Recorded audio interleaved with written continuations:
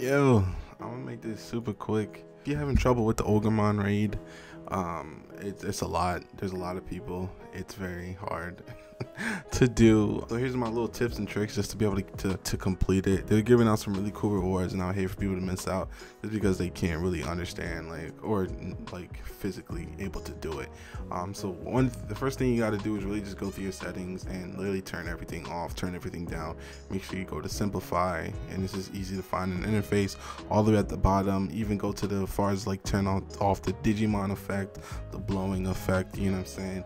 Uh, this is just going to help turn all the things down. You can also take out people's names that can help too. Basically, what you want to do is limit the amount of processing and image and graphics that your CPU might be running because you're going to get literally so low frame rate. So You can see my frame rates at the top. I'm running 60, 61 the entire time. And once people start jumping in, it's gonna drop all the way to like 20, 10. And before I even did this, I was already I was at one frame, so I couldn't even hit them.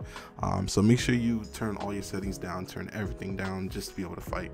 Also, too, another thing to note: if you're not if you are not in the channel before the the fluctuation of people come, you might as well just not go. What I suggest you go to channel one, channel one right before you, they start, you know, then once that finishes, you jump into channel three. Don't go to channel two because if you're not already in there, it's just gonna be hard. You might not even get in, it might kick you out, you might DC.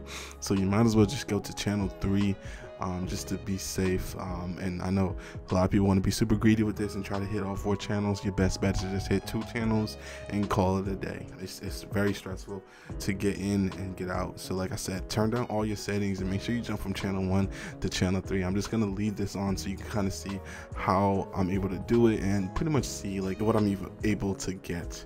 Um, like I said, you got to turn your settings down. That's the only way to pretty much do this. Um, they were they did talk about changing this to a, a ticket type of dungeon like the Examon raid, but I don't think they're gonna do it because this event's only up for I guess five more days, maybe six, maybe five more days.